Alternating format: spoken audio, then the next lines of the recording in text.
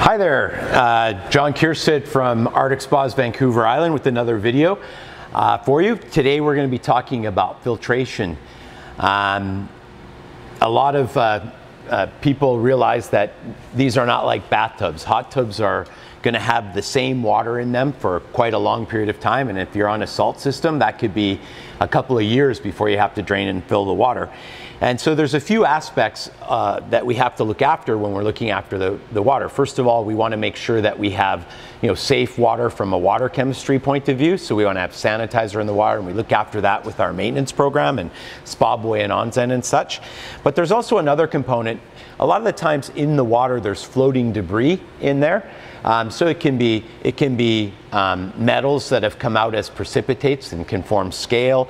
Um, you, you know, those kind of look like a, almost like chalk in the water. Uh, sometimes you have just floating things like hair and skin, um, pine needles, all these other things that can be floating around in the water. And so we basically use a filter to screen that stuff out of the water. And it literally is just like a screen. So there's a number of different types of filters on the market uh, that I want to go through uh, with you. The first thing I want to do is when we first fill up the tub, the source water uh, often has a lot of suspended solids in it. So meaning there's stuff floating around in there already. Um, and it's most likely inert. Uh, sometimes it's not, meaning it could be something that could react in the water. Um, but what we find is if we get that stuff out of the water when you first start up, um, it's better. So a lot of times if you're on well water or you're uh, you know, pulling from the lake like I do at my house, um, different times of the year that source water can be quite different. And even in uh, Edmonton, I remember in the spring, the water that they uh, sent through the uh, pipes was not as clean from a visual looking point of view. It was safe, meaning you could drink it because it had enough chlorine in it to kill any bugs, but it still had a discolor, sometimes a dis uh, uh, uh, unpleasant smell to it or otherwise. And so source water going into the spa is the first thing we gen generally try to address. So if you're on one of those uh, alternate systems where you've got your own well or you've got water coming in from a source that's not uh, publicly treated water, um, sometimes it's better to have a water truck come in. If your water happens to be wonderful, then that's great, but in a lot of times uh, that can be its own set of problems. So it's good to get that water tested. Um, we do have some pre-filters. Um, these slow down the filling up a lot. Um, basically this screws onto the end of your hose. This is an activated carbon filter, so this is going to take some stuff out, but it's not going to take everything out. Um, we have some other ones, we call it, call it a metal trap. Um, it's designed specifically to remove metals uh, from the water, the source water.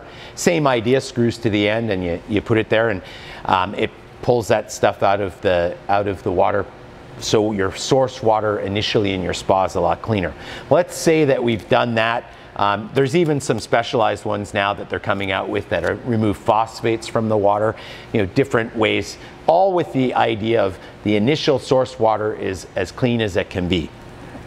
So assuming we've got clean source water, then over time we're going to be getting into this and what's on our bodies and what we excrete from our bodies when we sweat and otherwise, those are all contaminants in the water and some of that's going to be like skin, hair, um, you know, gels and stuff from our uh, uh, from our hair products. Yeah, you can have uh, makeups and things like that. All that stuff that can get into the spa from customers using the spa, those are all contaminants. And so we want to collect that stuff. As well, the wind blows in dust, the wind blows in pine needles and little bits of things and stuff. So we want to screen those out of the water. And that's literally what uh, the filters are designed to do.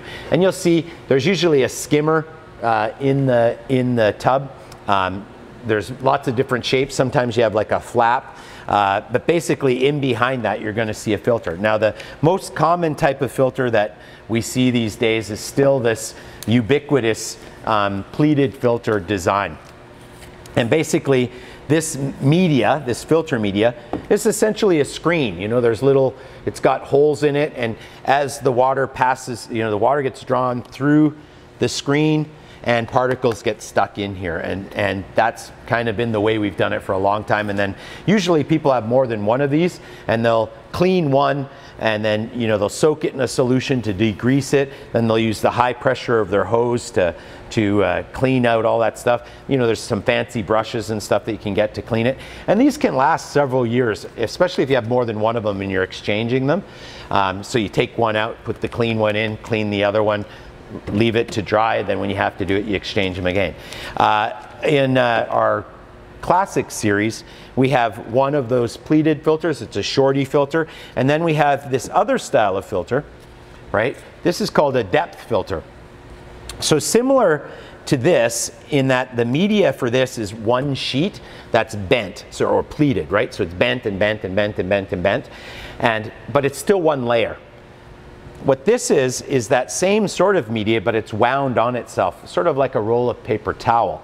And so you get more and more layers of this media stacking up. So when water goes through this on a single pass, it's going through several layers of this. So it's getting filtered four or five times more than if you just went through a single layer. And what that does is, first of all, the holes become a lot smaller because as these uh, screens layer over top of each other, each hole becomes smaller and smaller. So this traps a much smaller particle. Whereas with a pleated, standard pleated style filter, this actually has to become dirty. As it becomes dirty, it clogs the holes and you get smaller and smaller holes. And so then it'll take all the big particles floating, then smaller particles, then smaller particles, then smaller particles. So actually as it gets dirty, it screens smaller and smaller particles. Whereas this will do that on a single pass. This will catch more of those particles in a single pass. Um, the advantage to this one is that you can clean it. So you can clean it like I mentioned earlier. With these ones, because the stuff gets stuck in those tiny little holes, you can't just backwash this or otherwise. There's too many layers. So this is a disposable filter. And these are usually good for about three to five months.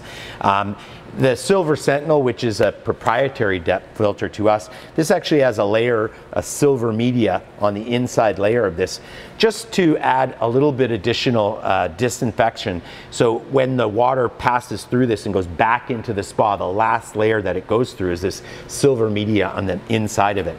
Um, because this can become the area where bacteria uh, likes to grow from because there's lots of food and stuff sources of food for it. So we want to make sure that doesn't get reintroduced to the spa water. So that's a depth filter. Um, in 2020, we introduced these uh, new style of filters, and as you can see, there's these bags, right? There's different bags inside here, and you'll see there's different layers, and each layer of this is designed to screen a different size particle. Um, there are some real advantages to this, um, but it's a little bit tricky for some. So you see we've got like a standard version and we got a high flow version.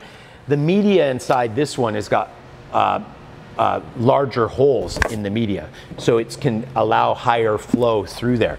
And generally what we do on our custom series is we'll have one of each. So this is gonna screen smaller particles. This will screen larger particles and we'll end up getting them out of there. Now you noticed I popped this little thing out of the top. When you first get your spa, because it's just been filled up with source water and new users have a tendency to put more pressure on the water, we have this little, we call rescue bag so this little rescue bag, this is designed so for the first week or so, sometimes even in a, a couple of days, this can clog up, um, depending on the source water. So if you're like uh, Shawnigan Lake, where I live, the source water there has a lot of uh, suspended um, sawdust, because there used to be a sawmill there. And so all in the bottom of the lake, there's this layer of, of uh, basically slowly dissolving sawdust, right? Or silt. And that silt gets caught in, in this and it'll clog your filter up very quickly. So we use this very fine media on top for a week. You can then rinse this out um, and then the next time you fill up your spot, or if for some reason something got spilt in there, you could add this back in there and use it again at another time. But it's designed to just be removed. And then you just leave the filter like this in there. Same with the other side, same sort of thing. It's exact same setup. Um, and that's what's used on the, the 2020 tubs. Now, we did have customers that were having problems with these clogging up too quickly because normally these, these will last up to six months. And I have several people that these last uh, eight, nine months even. But it really depends on the source water and the type of contamination that the water is getting.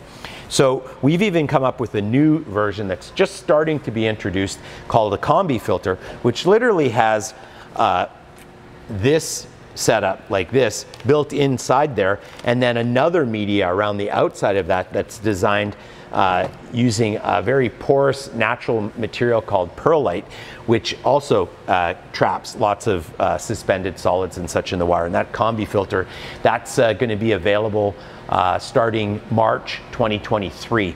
Um, we've been running long-term tests. We've been testing that product now for over a year just to make sure that for people that have issues with the filters not working quite the way they want, that combi filter we've been using and we found not only did it uh, make the water much clearer, which is measured by turbidity, it managed to still keep good flow uh, for, the, for the tub and, and for your jets and stuff. And so that's one of the things that can happen. So people often ask us, well, when do I know if this filter is, needs to be changed or otherwise? Well, one of the things is, is you'll notice the flow uh, out your jets might be restricted. Um, sometimes the topside controls will actually give an error that says, oh, there's a flow error, something's restricting flow. Well, that could mean that the ducky's got in the way of the suction or something's blocked the suction or otherwise. But a lot of the times it just means that the filter's gotten clogged and you need to put a new filter in there or a clean filter in there. Um, and so that's one of the things you're going to be looking for. Um, on most of the spas, we can set a timer that says, hey, check this out. And in fact, in your app and stuff, it'll actually have a picture of your, a lot of times I'll have a picture of your filter, um, but it works on time. So that's not necessarily, until we have actual flow sensors in the spas um, that sense the amount of flow through the filter, and we're not gonna get an accurate read of, does the filter really need to be changed? So you just have to be mindful. If your skimmer basket, if the basket of the skimmer keeps sucking down and keeps sucking down, um, and it won't stay up and skim the surface, that usually means that the filter's clogged, right? And that needs to be cleaned or changed. Remember that if the water is not going over the top of the skimmers, there is no water going through the filters and it is time to replace them. Um, so that's what you're going to be looking for when, when uh, you're thinking about, do I need to change this? I tell people, you should check your filter you know, once every month or so. Um, if you're using a pleated filter, you might want to just, you know, you just take a look at it. Does it look like it's dirty? Um, is the is the skimming action of your spa being affected? Um, like I said, most of the time, most of the time the uh, the skimmer will be a good indication as well as the various codes and stuff. And I, I have a, like on some of them, I'll set a timer that says check your filter every month. So they'll check the filter to see that it's okay. And then give it a quick rinse. Sometimes just rinsing it, giving it a quick rinse, putting it back in, that can buy you another couple months uh, before you have to, to, uh, to actually get that in there and clean it, right? Um, the disposable style filters, are not cleanable. Um, you can rinse the, the rescue bag, like I said, but you can't, um, you can't uh, clean them forever and it'll slowly, the material over time will degrade and you'll need to get a new one. You can buy these separately. As well for the, uh, the uh, active skim filtration system, um, in that skimmer, we have a rescue bag available for that that actually attaches to the underside of the, the skimmer. Um, and I should have actually uh, brought one of those to show you, but it's just a bag similar to this. It's a bag that screws in and it literally floats down uh, with the skimmer and uh, traps debris in there. Um, I also use those rescue bags uh, when I'm having a party or something like that. I'll just use the rescue bag because when you put new users in here, you're going to put lots of additional contaminants in there. I just want to get that out of the water right away. And I'll take these main filters, I'll even take those out and just rely on the rescue bag um, to do my filtration for that period of time. Also, you may have seen one of my other videos where we remove uh, small suspended particles uh, from the water using a clarifier. Well, if I use a clarifier, and I keep these filters in there, it's going to clog these up. Now that's not a big deal if it's one of these filters because if you clog this up, you can rinse it off, you can degrease it and reuse it. But if it's one of these style of filters and I use that clarifier, it's going to plug this thing up and you're gonna have to throw this out. So in that case, I would use the rescue bag instead. And again, you can rinse the rescue bag a few times just like this and reuse it uh, more than once. I've used mine five, six times and, and uh, uh, it's quite easy to rinse out because it's just a single layer. You know, it's when we wrap that on where there's multiple layers, you could rinse off the stuff on the outside, but you can't get the stuff on the inside. So that's why you can't re-clean these. And these are recyclable. It's uh, this is 100, even the top pieces here, and the media are all polypropylene. So it is uh, recyclable. Uh, and that's, that's really the differences. Now you'll see maybe you have a different brand of spas, not an Arctic spa, um, that uses a combination. I've seen a lot of filters now, what they've done is they've done this. So they'll have a filter that's like this. So part of it's this and part of it's a depth filter. So you got some component. It's the same as we've done by separating it. They've included it into one one filter. Um, and then a lot of times these specialty filters can cost a tremendous amount of money. Some filters cost more than $200 for one filter. Um, and so I tell people, you know, if you have a choice, trying to use the more generic filters when you can is going to be a little less money um, or get something that's going to last a really long time. Like I think the new combi filter could last up to a year. Um, so you might pay more for that filter, but it should last a lot longer. Um, and that's really the, the differences you're going to see on filters that are out there. What's the difference between the tall and the small? Why would you use the small one? Um, just uh, it's just the the doesn't you don't need much of this media to catch the larger pieces of material. You could put in this one instead of this one. There's no uh, issue there. You can always go with a slightly shorter filter. You just have a little less media, but you can't go with a taller one, right? Um, we've chose this just from an economical point of view. It's less money for the customers to start off with, but functionally it's the same. This is only going to have maybe 15 square feet of media, you know, or 25 square feet of media. This is going to have, you know, 75 square feet of media and this will have like 800 900 square feet of media so you got a lot more actual screening material in the product um, some of these you'll see are are more tightly uh, put together. Um, so they'll have like this is, I think they call this a 25 square foot. Yeah, 25 square foot, uh, 75 square foot. There's a lot more pleats in here and much more congested. Um, I've found that the 25 square foot filters actually do a better job because they allow more flow initially, so you can get that big stuff out when you have these uh, media too close together, sometimes the flow just between the media isn't as good. Um, that's you know that's something that you can experiment. Again, it really depends a lot on your initial source water. So source water is going to make a big difference. Um, the cleaner the source water that you first fill up, because you're going to use that water for several years you, on an Arctic running a salt system, um, you're going to want to have a, a, really good filtration system to make sure it stays clean uh, of floating particles and suspended solids during that time frame. On a traditional maintenance program, you're changing your water every three to six months, and so they usually tell customers, you know, when you change, do your drain and fill, uh, and set up your chemicals, check your filter, clean it, make sure you do it at that time. So it gets checked more often than say on an Arctic where you're not draining and filling it all the time. Um, and that's one of the advantages. Um, but sometimes people forget that they even have a filter. So we just wanted to remind you that you do have a filter and you do need to check it from time to time. Uh, I'm John Keirstead from Arctic Spas Vancouver Island talking to you about filtration. If you have any questions, be sure to uh, talk to one of the smart friends at one of the stores. Uh, they'll be happy to help you out or send us a message online and we'll get back to you there. Thank you for taking the time to watch our videos and if you haven't already done it, be sure to subscribe.